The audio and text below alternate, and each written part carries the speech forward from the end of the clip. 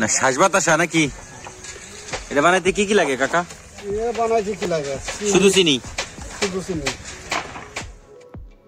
ঘুরি ফিরি ফরিদপুর গ্রুপের ব্যাবাককে স্বাগত জানাইতেছি আজকের মজার একটা ভিডিওতে।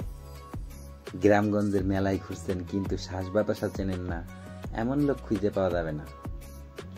আজকে আপনাদের দেখাবো সেই শ্বাস বাতাসা মাইনছে কীভাবে বানায়। তো চলেন দেরি না হইরা তাড়াতাড়ি দেখি। ক্যামালের শ্বাস বাতাসা বানায়।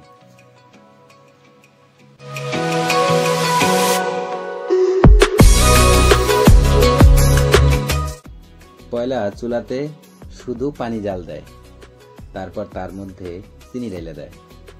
মেলাক্ষণ জ্বালানোর পর পানি আর চিনি ঘন হইয়া যায়।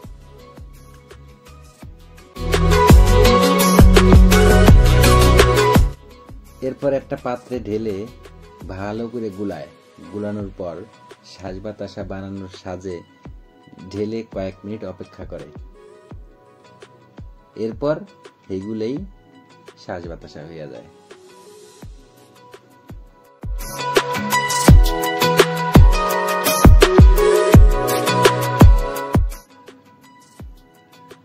কতক্ষণ পর সাজ বাতাসার সাজ থেকে সেগুলো তুলে তুলে একত্রে করে একসাথে রাখে।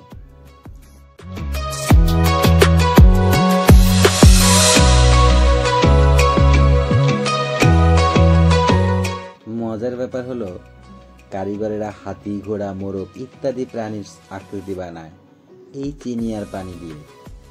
তাই আমার মনে একটা প্রশ্ন জাগে, দুনিয়ায় এত কিছু থাকতে ওনারা পশু পাখির আকৃতি বানায় কেন? এর উত্তর আমার জানা নাই।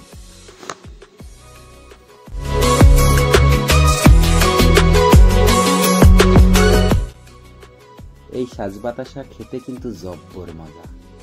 আপনারা কে কে খাইছেন জানাইয়েন। আজকের মতো এখানেই শেষ করলাম। দেখা হবে অন্য কোনো বিষয় নিয়ে, অন্য কোনো জায়গায়। সে পর্যন্ত ভালো থাকেন, সুস্থ থাকেন এবং আমাকে ঘুরি ফিরি ফরিদপুর গ্রুপের সাথেই থাকেন।